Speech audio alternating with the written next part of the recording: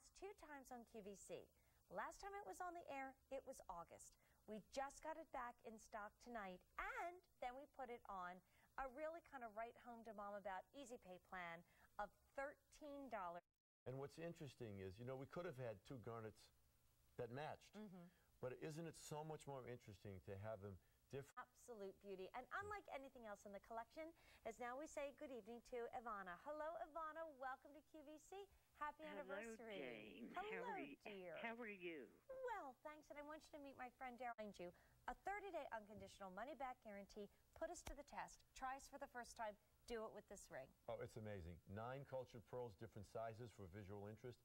Your three square cut stones, a large oval iolite, and a little tiny peridot for interest and contrast. The, the, the, the luster of the.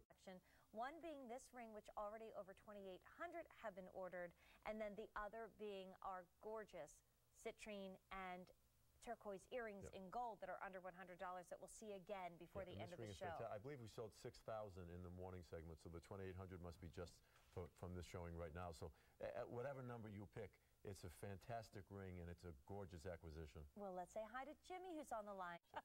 but you were right. Yeah, yeah. But notice I was very quiet. I'm like, I'm going to let these two gentlemen figure that out. So, so over 8,000 of these have been ordered. Hmm. And like you said, it doesn't matter because what matters is one ring. That's the right. one that's on your finger. Exactly, The one that you buy beautiful. to give or to wear. And also, if you are someone that likes